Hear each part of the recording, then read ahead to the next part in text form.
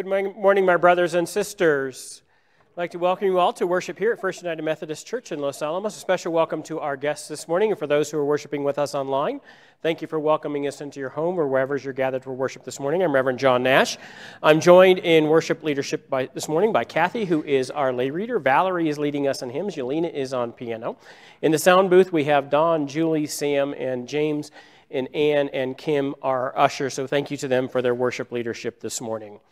John Wesley, the founder of the Methodist movement, said, Whoever you are and whatever faith you were born, whatever creed you confess, if you've come here to find God, to encounter God, you are welcome here, and we are indeed glad that you are with us this morning. We continue in our worship series on the Nots of Jesus, that is, the things Jesus told us not to do. And so we hope that you have come with the expectation that we will encounter the risen Christ. Kathy, you're going to be over here. Thank you. We hope that you will come with the expectation that we, you will encounter the risen Christ. The Holy Spirit will be moving and working amongst us here this morning that will tr- be transformed by gathering together as the people of Christ. So I'm going to invite you to stand as you are comfortable. Remain seated if that is more comfortable, as Kathy leads us in our call to worship and opening prayer. How majestic is the name of the Lord! The glory of God shines from the heavens. Who are we that God is mindful of us? Yet God has crowned us with glory and honor. How majestic is the name of the Lord! The glory of God shines from the heavens. Together, let us pray. God of all creation, the moon, sun, and stars display the work of your design, shining out your glory to all the world and making known the majesty of your name.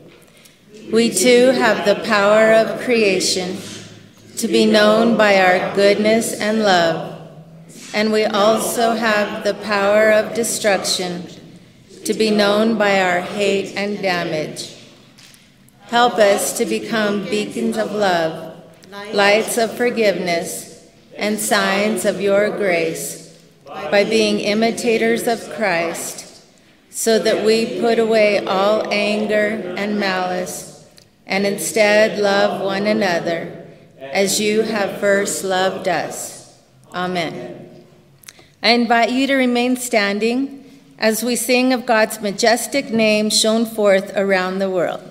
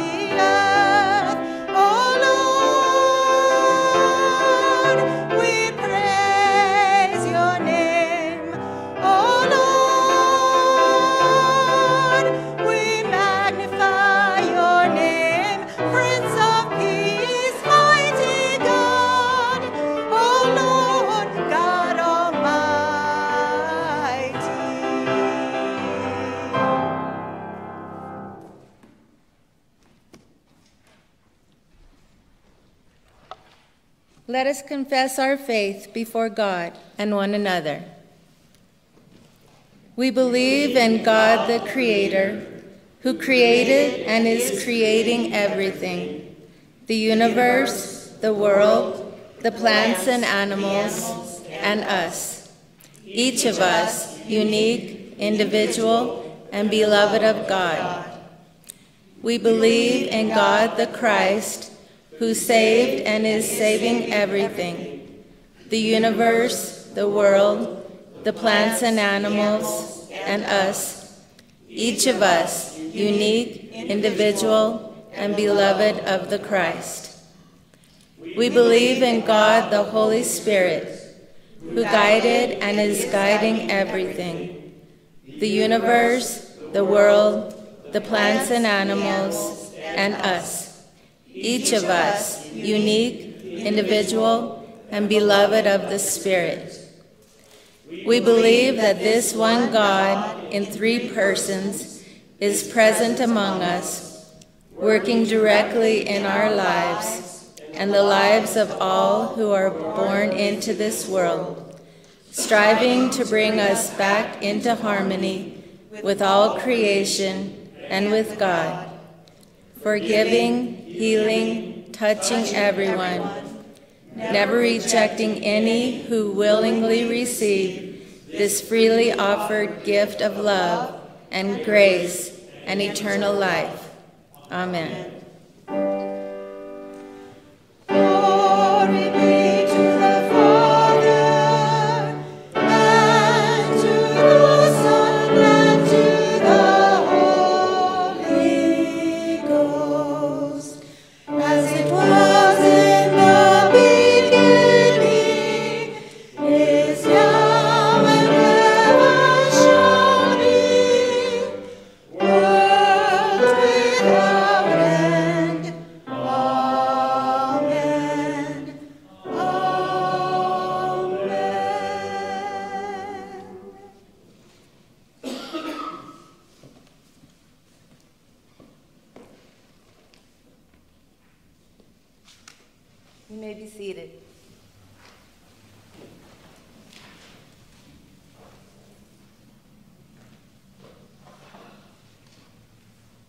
Together, let us pray our prayer for illumination.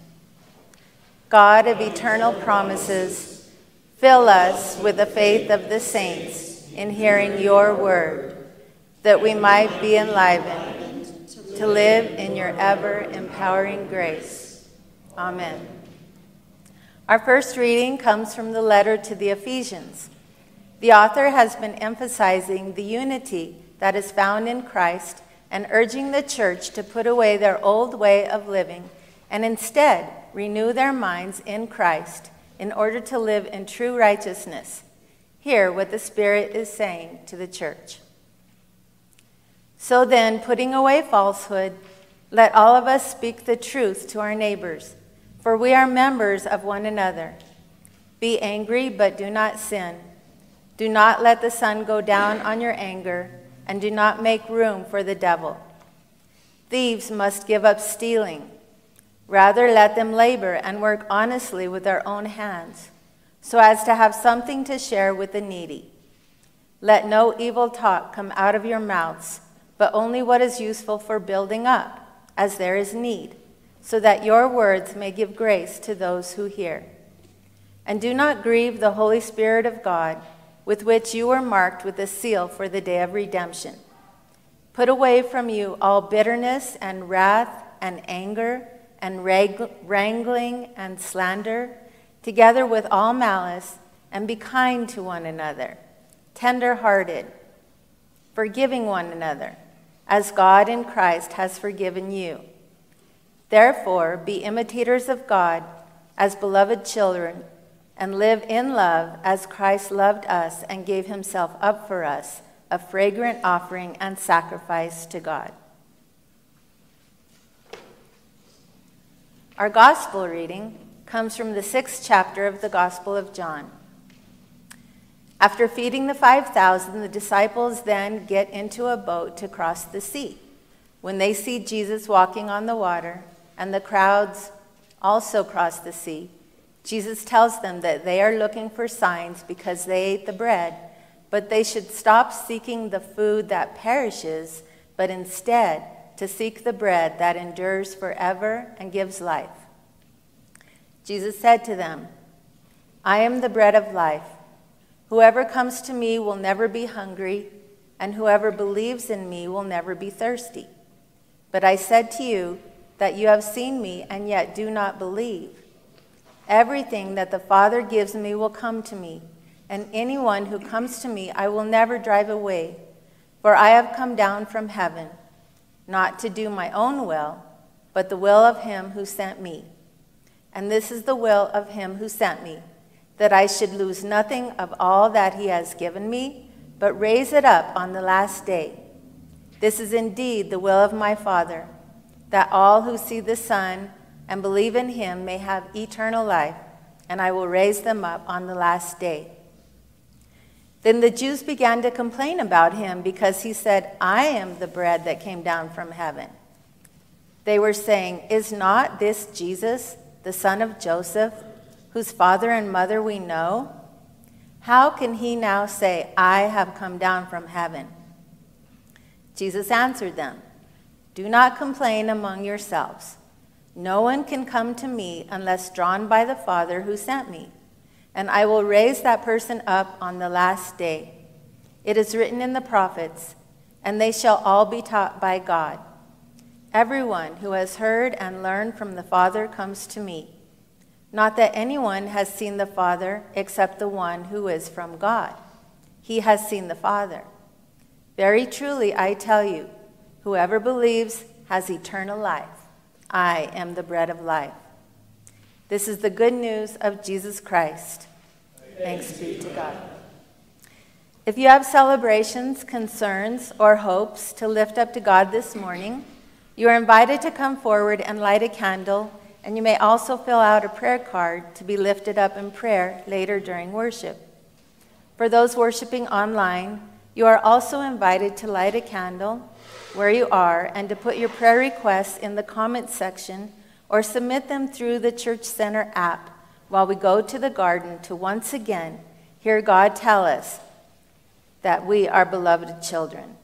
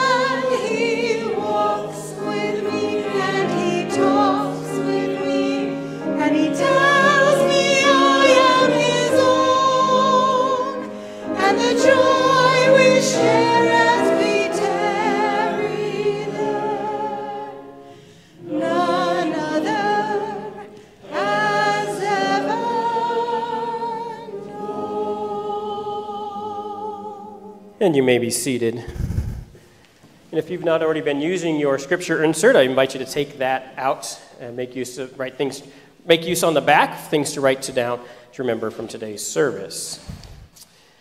So if you've been here for a while, I've mentioned this before.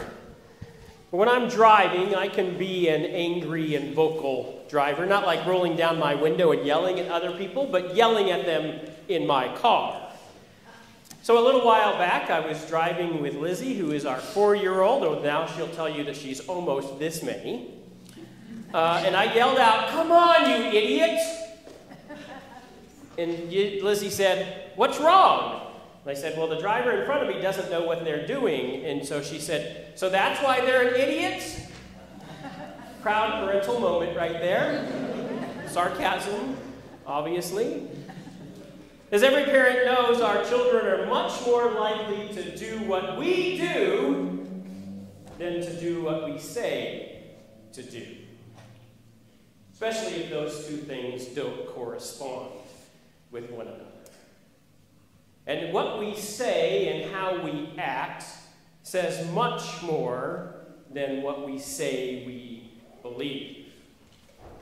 And so, with that, we have to think about the power of our words and how they not only affect the world, but also how they affect us. And so, with that, we move on in our series on the Nots of Jesus onto his claim that we are not to complain. And this was the one I was most worried about coming into, just so you know that. Because complaining is just something we do. Studies show that most of us, on average, complain between 15 and 30 times a day. And I'm sure that some of you say, well, that's not me. But as Reverend Bowen says, who we talked about when we talked about the uh, complaint free world a couple of years ago, um, he said that, you know, complaining is sort of like bad breath. You notice it on others, not so much in yourself. Now, I think that while not complaining is generally a good idea, we should note that there are times in which complaints are appropriate and necessary, and we'll come back to that idea. There's a very specific context, though, in which Jesus makes this injunction not to complain, as we heard from the Gospel of John this morning. And Kathy said in the introduction, before this interchange, Jesus is up on a mountaintop feeds 5,000 people, then comes off, walks across the water, which is much more impressive than just parting waters. And then to make it a little more impressive, the people themselves go around the water, meet Jesus on the other side, and they ask Jesus, What sign are you going to give us? This section of the Gospel of John is known as the book of signs because there's a series of miracles that Jesus does throughout that John uses to say that this is who this is, proves that Jesus is the Messiah. And so he's fed the 5,000, and they say, What sign are you going to give? After all, our ancestors ate manna in the wilderness. So hopefully you're seeing the sort of comparisons here between the Exodus story and the story that's taking place here with, with Jesus. And Jesus says, You're looking for the wrong things. I am the bread of life. So, this is one of the I am statements in John. And again, thinking of the Exodus story when Moses says, Who should I say sends me? Jesus, I mean, God says, I am. So, direct again connection here to the Exodus story. But this statement, I am the bread of life, begins the religious leaders to begin to complain, as we heard in the, the NRSV translation, New International Version says they're grumbling to each other. And so, two important points about this. The first is that with the rise of anti Semitism in the country, or perhaps maybe not the rise, but it's once again become fashionable to say the silent things out loud in public, we should have to deal with the Jews saying this, right? But what religion was Jesus? Jewish. What religion were all the apostles and disciples? Jewish right? So while the Gospels and John in particular use a certain polemic against sort of classifying everybody as Jewish, we have to understand first that this is an intra religious argument, right? Even at the latest dating of the Gospel of John, there has not been sort of an official separation yet between Christians and Jews. Right? There's people who are following Judaism, and then there's people who are saying, no, the Messiah has already come. But largely, they would still be sort of existing within a synagogue or within a, a, a Jewish context, right? Even the Gentiles who are converting into Christianity you still have that sort of tie that's coming in there. And so, really, John is sort of illustrating this argument that's taking place within intra religious dialogue. So, let me rephrase this in a different way to make it clear. It's not to say that all Jews are doing this just to sort of off, because it would be the same thing as if we said Christians began complaining. Now, if you said that or heard somebody say that, would you really think that meant all Christians? Because no, because we understand the diversity of opinion within Christianity, right?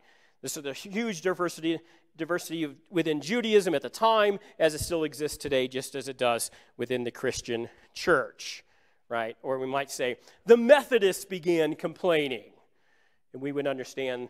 Well, it's not all Methodists, right? There's a portion who are doing this work. So a better understanding, as I said at the beginning, rather than saying all Jews, is say religious leaders, but even that can be problematic because within the Gospel of John, Joseph of Arimathea and Nicodemus, both re- Jewish religious leaders, are supporters of Jesus. So even saying religious leaders is sort of a broader category than what we can sort of apply here. So when you hear, in particular, John say the Jews, take that with a grain of salt, understand the context in which he's doing that so we don't begin to make these wide beliefs about this group of people who were opposed to Jesus uh, when it was only a few. And the other piece is this connection, as I've already talked about, between what's happening here and the story of the Exodus. Because if you were reading this in the original Greek in John, and also happened to be reading the Septuagint, which is the Greek translation of the Hebrew Bible, and the Exodus, when the Israelites, see how easy it is to group an entire people, are out in the wilderness, right? They begin complaining to Moses. Well, it probably wasn't all of them. Again, a group of people who are doing this. But the complaining, the grumbling they do, the Greek word there in the Exodus story is again the exact same one that's used in this story. So the feeding out in the wilderness, right? crossing through water, matching up here against the Exodus story. And so then there's this definite connection between these complaints of complaining against God. And in these complaints, then, completely overlooking all the things that God has already done for them. Right? It's like saying, sure, you, you fed us yesterday, but what have you done for us lately? right? So it's about this sense of, where are you, God? What are you doing for me right now?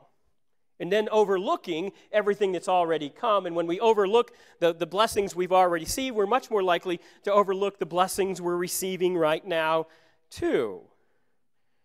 And then this is also that sense of why should we trust these people who say they're coming from you? Right? Why should we trust Moses? Why should we trust Jesus? Are they truly the people you have sent? Or is there something else going on, right? Do they have some power play they're trying to do? And then it's a question then about are we going to really follow God? Because as I've said before, we all say we want to follow God, just as some of us would like to follow in an advisory capacity, not as a true disciple. Right? When God says go and do this, we say, well, maybe not. Are you sure you're talking to the right person. Are you sure you really want me to do that? And when we don't want to do that, then that grumbling starts to come in. And I'm sure that we have all known people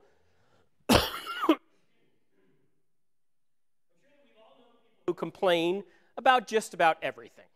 Right? Everybody knows somebody like that. Right? And in complaining, what do they miss? all the good things that are happening around them, all the blessings that they are received. And there's some people who say, well, you know, complaining and grumbling is actually a good thing. It's good to get all those emotions out there, right? But if that was actually true, if it was a truly good thing, then the happiest and healthiest people we know would be the people who complain all the time.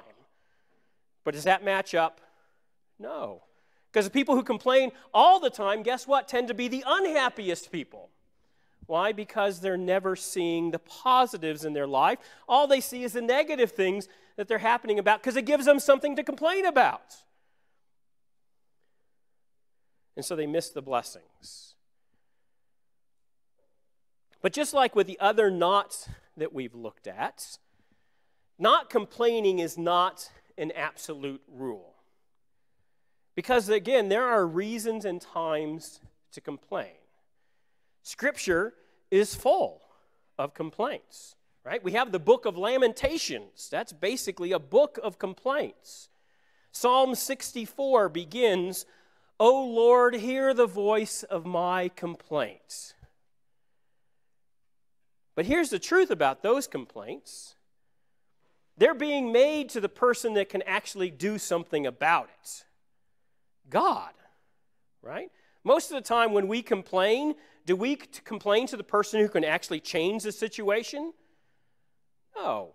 We complain to each other, we complain to our spouse, our friends, our partners, whatever it might be, but not to the people who actually have some control over it. And that perhaps might be what Jesus is calling out here, because what are the, the leaders doing? They're complaining amongst themselves.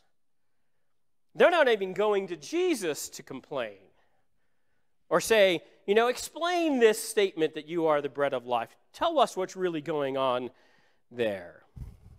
Instead, they're complaining amongst themselves. They don't go to the person who can actually solve the problem, right?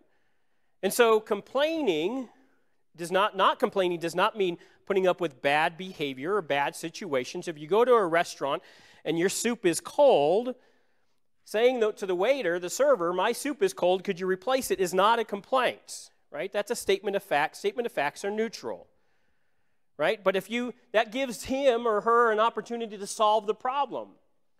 But if all you do is complain to the people at your table and never say anything to anyone else, that's just complaining, right? And we're not talking if it's gazpacho soup or something supposed to be cold, right? We're talking about something that's really um, happening.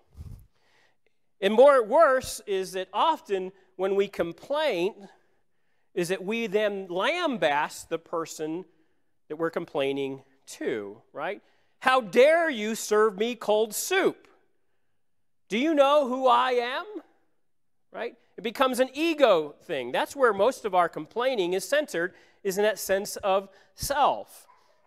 Again, in the words of Reverend Will Bowen, he says, a complaint often has a sense of being a counterattack for a perceived injustice, of saying, This is unfair, or How dare this happen to me? And therefore, we personalize what has happened and we feel justified, therefore, in how we treat the other person because they've somehow attacked us. We've made it personal, and so we feel it's okay to be personal in our response. And that's where we really begin to get ourselves in trouble. And that's where that passage from Ephesians then comes into play. And the passage from Ephesians is actually paired with that the passage we heard from the Gospel of John for this morning uh, in the lectionary, which are the recommended scripture readings for each Sunday or each holiday of the year, used by a large portion of the Protestant church and the Roman Catholic Church. And I think that those two passages go together fairly nicely. Because we have this statement, Jesus saying, Do not complain, matched up with the author of Ephesians, who starts this passage. He's talking about, again, how we are to live after having accepted Christ. After we've entered into the waters of baptism and been reborn on the other side as a new creation in Christ.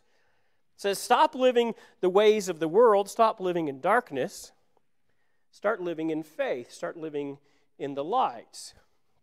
And so he says that we are to live differently from the world by telling the truth to others. Because, he says, we are members of one another.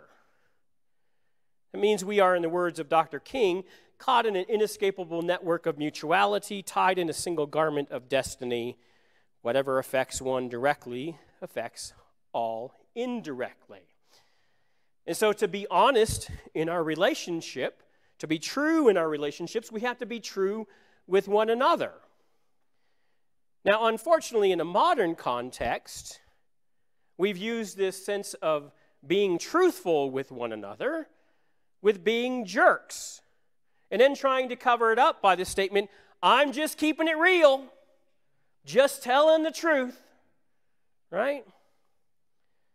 Telling the truth does not give us permission to demean or belittle another person. That's part of being members of the same body, of being united together. And it ties into then what follows. He says, first, be angry, which is not a commandment, right? Because we know that because of what follows. Be angry, but do not sin. That is, recognize that anger is one of our emotions. You're going to have anger, but be careful what it leads us to. Now, if sin, as I refer to it, is a breaking of relationship, then that sense of be angry but do not sin is important.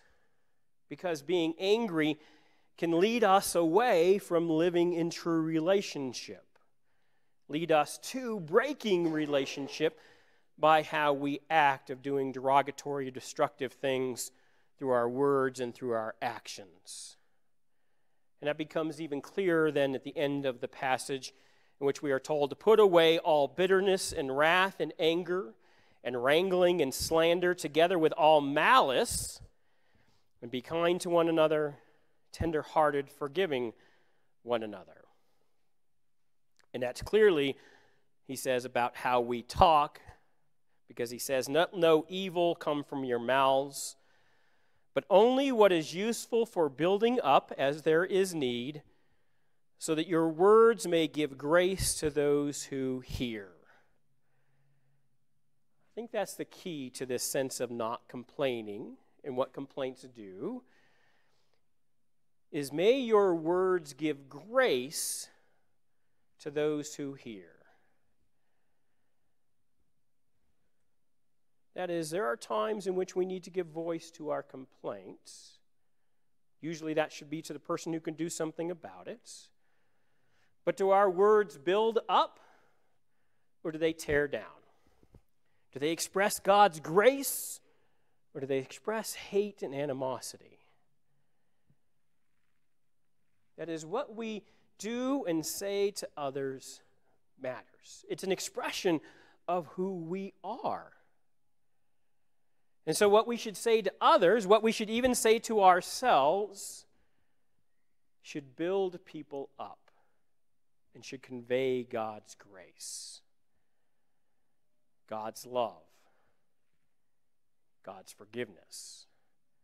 That we are called to imitate Christ and to make a sacrifice of our lives. And when you make a sacrifice, that means you have to give something up, right? And so maybe that giving up is the sense of I can say whatever I want to whoever I want. Sort of funny, however, when we talk about freedom of speech, it comes immediately after something that's just people have objected to, right? Well, I, I have the freedom of speech, I can say that. Well, yeah, you can, but should you? We don't very much talk about Christian speech, but we should. Because we are to be representatives of Christ to the world. That what we say and what we do represents Christ and God to the world. Right? Yesterday, James Risch got his Eagle Scout, and that's part of the Eagle ceremonies to say, You now represent the highest ideals of scouting to the world. What you do is what people will think scouts are. What we do and what we say is how people will think Christians are. So the writer of Ephesians says, Be imitators of Christ. Which means we don't just get to do whatever we want to do or say, because what we do represents God. And so it should represent the love and grace and forgiveness of God. And we do that because of what God has already done for us.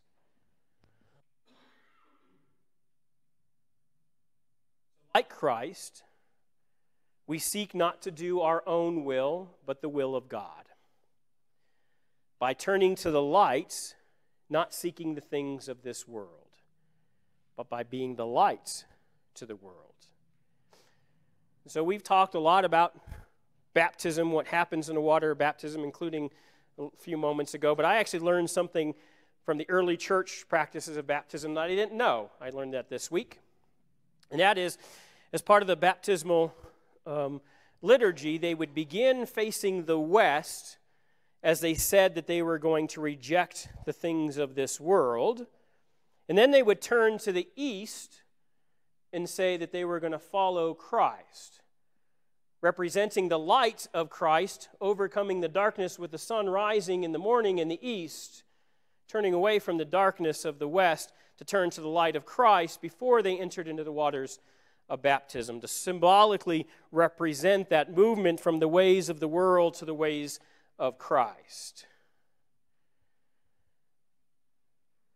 To live in the light and to imitate Christ. To be Christ love to the world. Because what we say and what we do matter. And so Jesus says, do not complain. She'll tell you she's almost five. Don't complain. Because when we complain, we miss our blessings. Instead, appreciate what God has given to us love and grace and forgiveness to build us up so that we can go forward to give that to the world. I pray that it will be so, my brothers and sisters. Amen. And I invite you to stand as you are comfortable. Remain seated if that's more comfortable for our hymn of response, because if there is to be peace on earth, it must begin with us.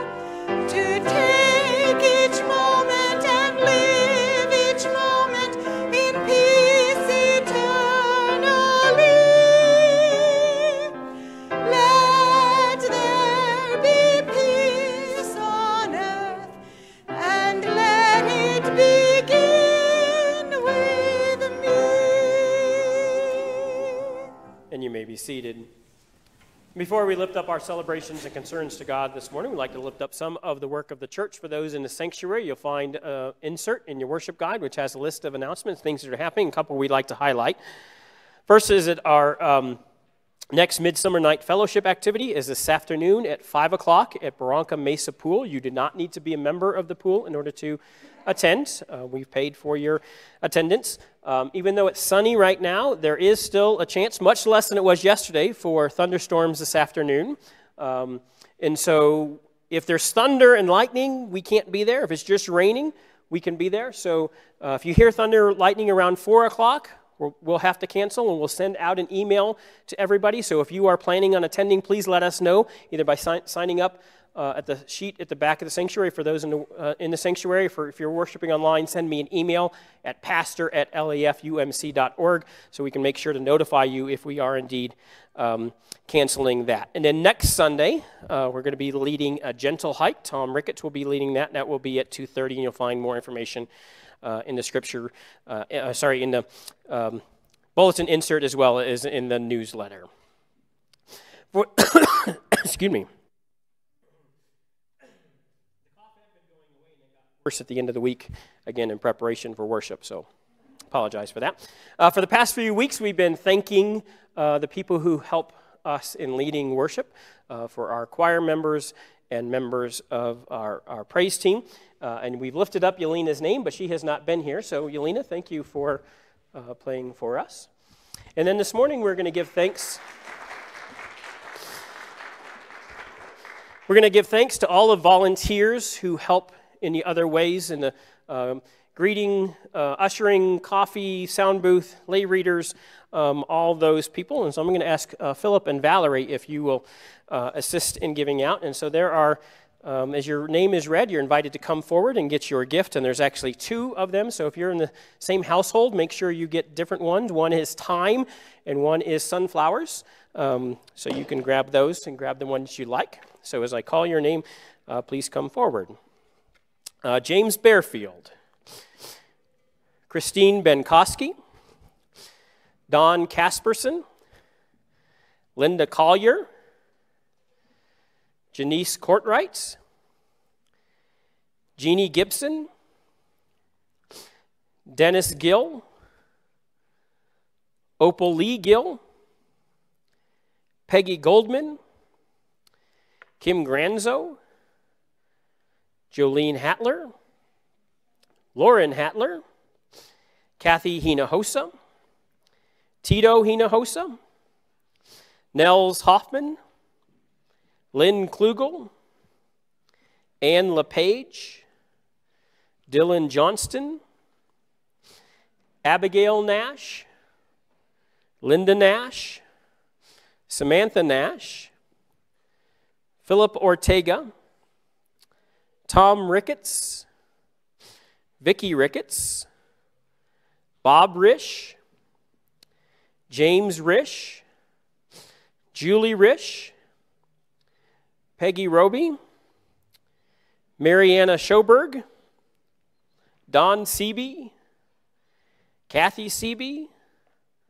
Lee Wineland, Camille Westcott, Sam Westcott, and Harriet Zickerts. And we do our best to make sure that we capture everyone. But if you have volunteered in worship in the last year and we did not name you, please come forward as well and make sure you get your name added to the list. I think we caught everybody. Um, but please let us give thanks to all of them for their work in making worship possible.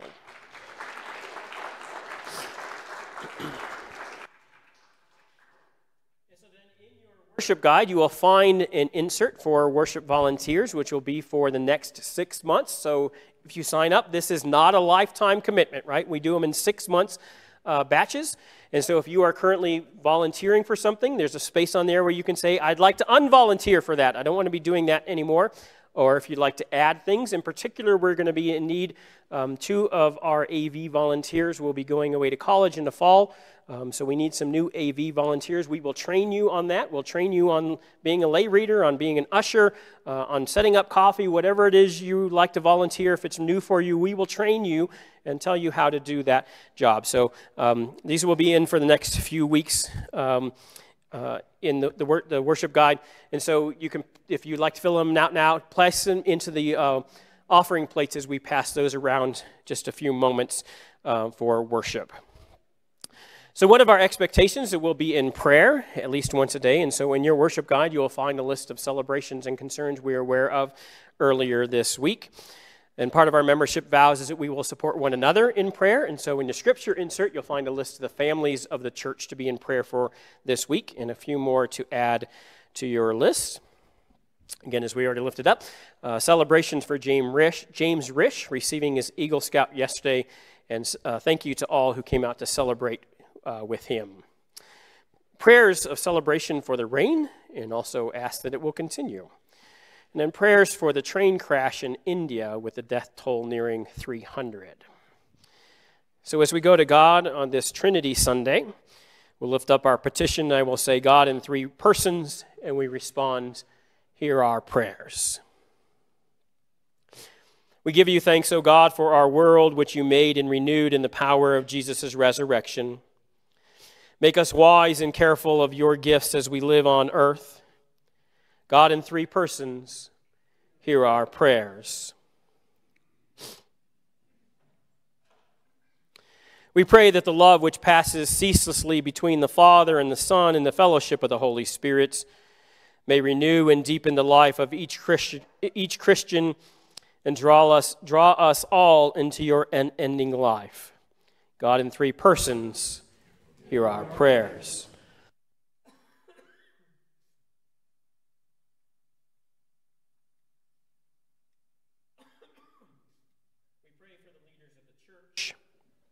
For Protestants, for Roman Catholics and the Orthodox, for Sunday school children and youth, for the elderly whose wise counsel is sorely needed in all ages, and for all ecumenical endeavors that seek to bring us closer to each other and to you, God in three persons, hear our prayers.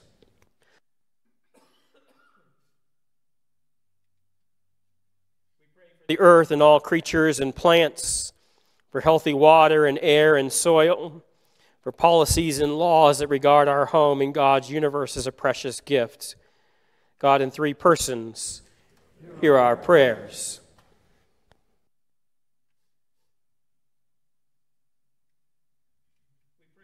Families, our households, and our communities, that your life together as Father, Son, and Holy Spirit may show us with like importance of each, each of us and strengthen us in your grace and truth.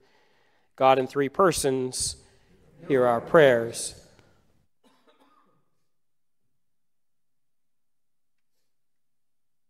pray for the sick and those who suffer in any way, for those who struggle to pay rent or a mortgage, and for those who have no home, for those who are neglected and abused in our communities for people who long for family and are instead alone, for children who do not have a good guide to raise them up, and for whatever else you see that we need.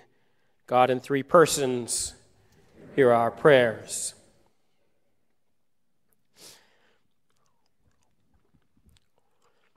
We pray for all those that we have named before you and for those who are known only on our hearts.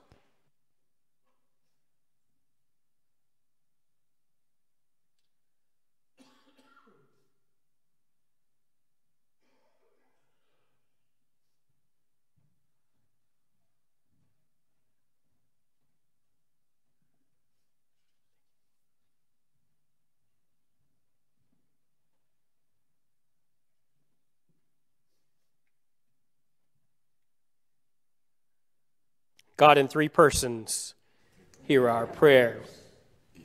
Into your hands we entrust all that is of concern this day, sure that you hear our pleas, grateful that your will be done on earth as it is in heaven.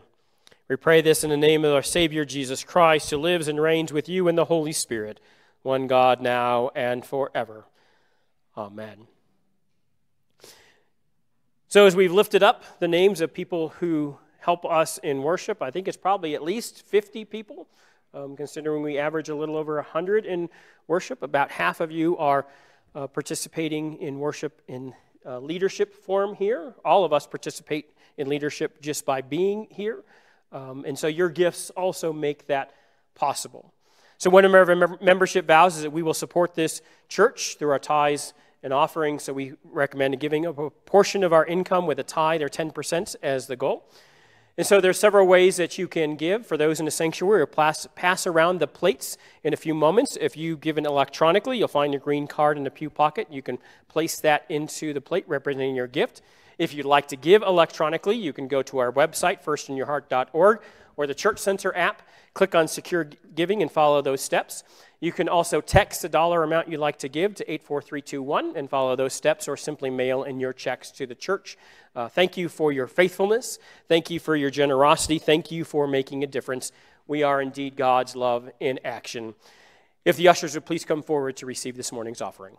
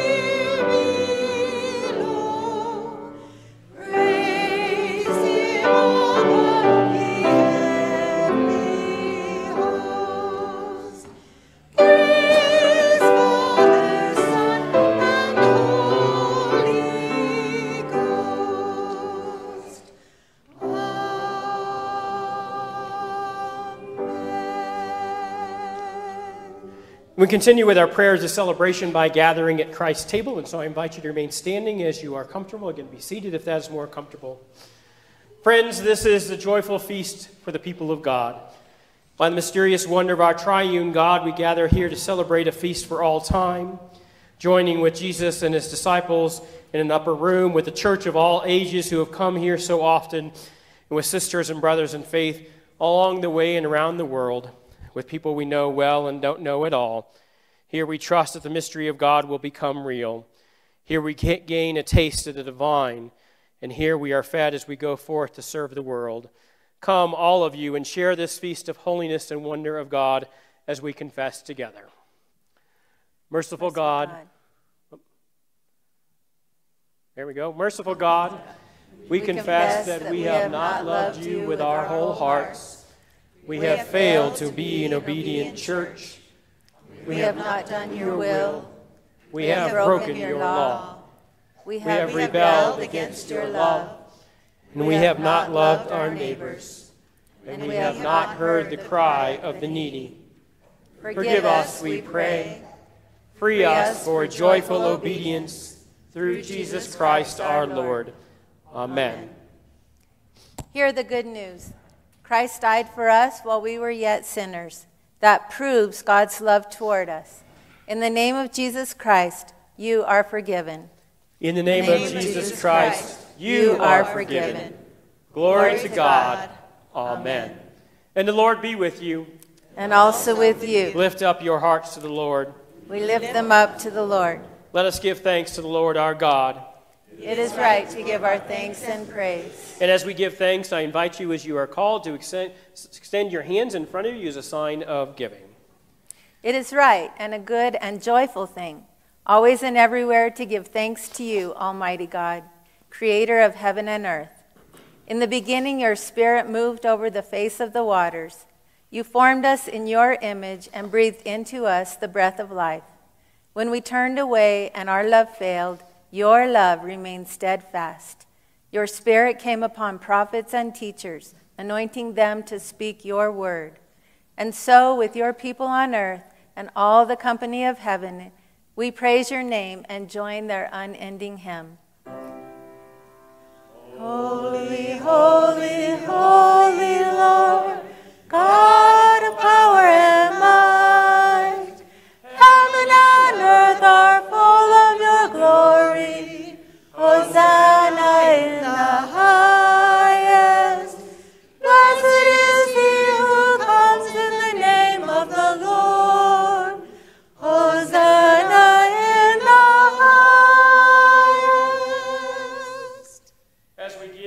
also receive, and so I invite you to pull your hands into your chest as a sign of receiving.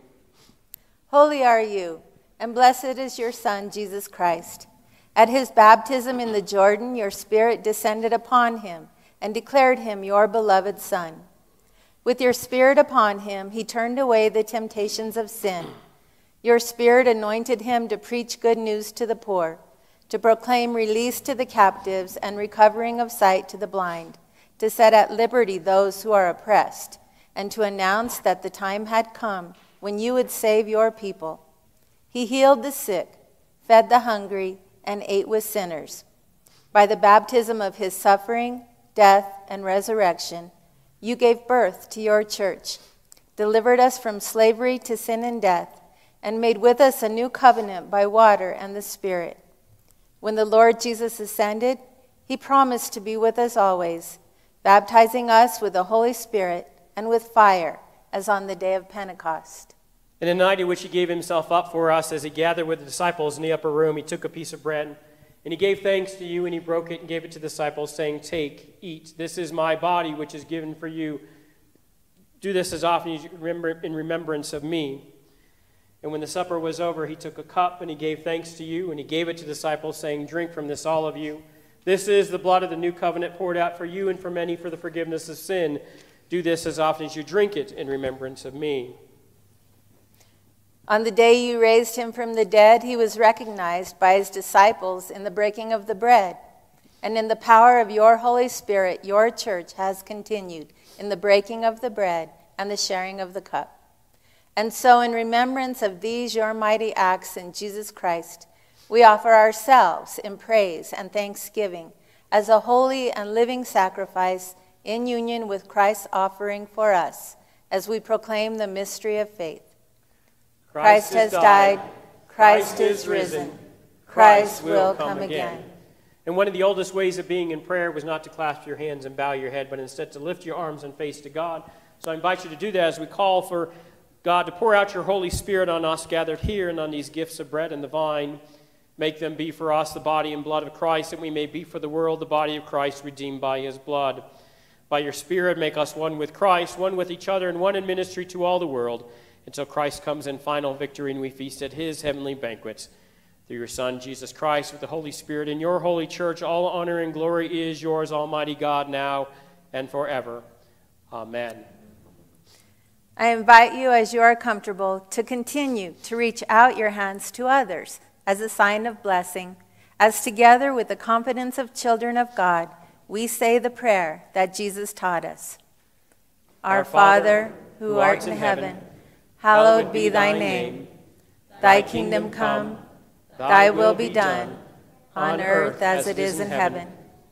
Give us this day our daily bread, and forgive us our trespasses, as we forgive those who trespass against us. And lead us not into temptation, but deliver us from evil. For thine is the kingdom, and the power, and the glory forever and ever. Amen. Because there is one loaf, we who are many are one body, for we all partake of the one loaf. The bread which we break is a sharing in the body of Christ. The cup over which we give thanks is a sharing in the blood of Christ. You may be seated. And if the servers would please come forward. Sorry. Always my fear to knock on the the body of Christ. Amen. Thank you.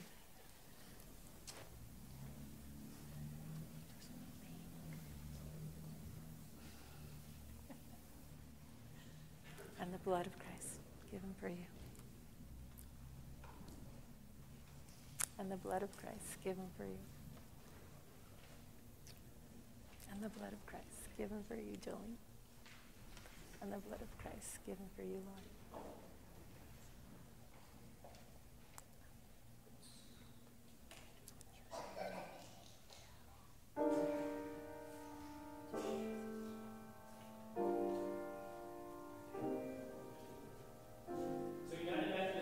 practice an open communion table because this table is not owned by us, it is owned by Christ. So if you have any concerns of whether you're welcome, put them aside. For all are welcome at Christ's table. You're invited to come down the center aisle, cup your hands, and we'll piece place a piece of the bread into your hand. The bread is gluten, nut, dairy, egg, and soy free. Uh, and then dip it into the grape juice, uh, receiving both elements at the same time. Then you can be in prayer at the kneeling rail and return to your seats by the side aisle. Come, for all things are ready. Come, taste and see that God is good.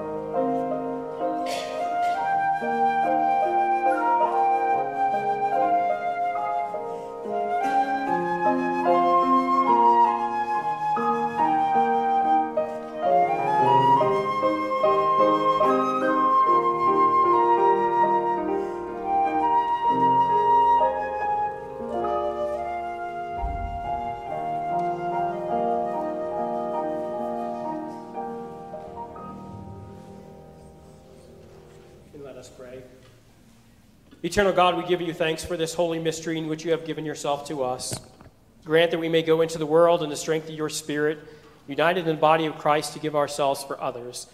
In the name of Jesus Christ, our risen Lord and Savior, and all God's people say, Amen. I invite you to stand as you are comfortable for our closing hymn. We haven't sung this in a little while, but we encourage those in the sanctuary to form a circle around the sanctuary and hold hands as we remember to draw the circle wide.